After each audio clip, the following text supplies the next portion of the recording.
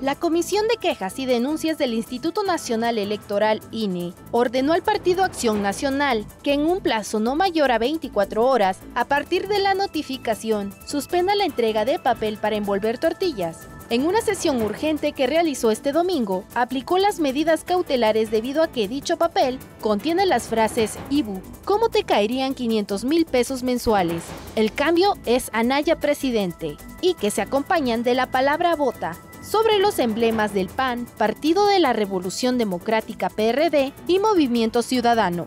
Se precisó que la ley electoral prohíbe a los partidos políticos y a candidatos la entrega de cualquier tipo de material en el que se oferte o entregue algún beneficio directo o indirecto, mediato o inmediato, en especie o efectivo a través de cualquier sistema que implique proporcionar un bien o servicio.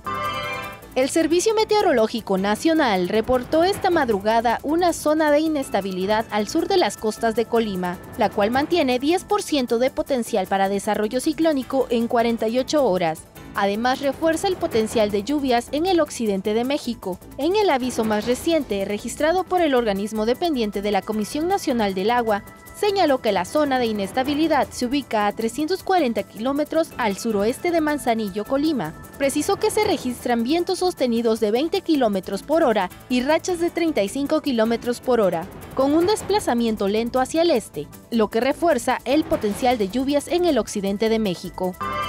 Más de 2.000 ejemplares de fauna y flora silvestre fueron recuperados por la Procuraduría Federal de Protección al Ambiente. Se detalló que aseguraron 564 aves, 119 reptiles, 3 mamíferos, 3 anfibios y 25 invertebrados, entre los cuales se encuentran loros, tucanes, aves canoras, tortugas, abronias y boas, además de 1.289 orquídeas, 1.656 huevos de tortuga marina, así como 209 buches de totoaba, 0.5 kilogramos de caballito de mar, 2.98 kilogramos de pepino de mar y 924 almejas pismo.